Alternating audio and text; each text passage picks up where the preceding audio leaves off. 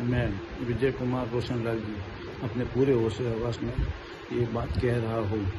ये मेरी विश है विल है, सब कुछ है। हमारे घर में अभी पंद्रह दिन, बारह दिन पहले जो हुआ है, वो पूरे इंडिया को मालूम है। हमारे बड़े पिताजी, हमारी बड़ी मम्मी और हमारा छोटा, बड़े पिताजी का बेटा, शीतल, इनकी डेथ हो गई है। और इनको मारने वाली जने वो भी पूरी दुनिया को मालूम है। अभी हमारे घर पे इतना बड़ा दुख आया है कि हम उससे उभर ही नहीं पा रहे हैं। और अभी उन छह लोगों में हमारे ऊपर, घर के ऊपर हमारे जमाई और मेरे ऊपर हेमंत जी और मेरे ऊपर गलत गलत इल्ज़ाम डाल रहे हैं।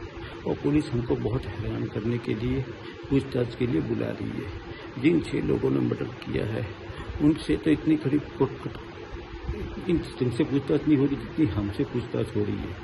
मैं भारतवासियों में जैन समाज के हर एक लोगों को, जो मुझे जानते हैं, मेरा नेचर है, मेरा स्वभाव है, जो हर चीज़ के बारे में, मेरे हेमंत जी के बारे में जो भी जानते हैं, वो लोग सब पूरे जैन समाज के आगे आए बड़े बड़े पदवी वाले बड़े बड़े पोस्ट वाले, और हमारे परिवार को बचाए।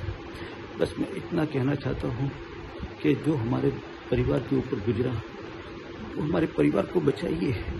हमारी मेरी बेटी डर रही है। पाँच दिन से खाना नहीं खा रही थी। पापा, हमको तो कुछ हो जाए नहीं जाएगा। हमको तो कुछ हो ही नहीं जाएगा।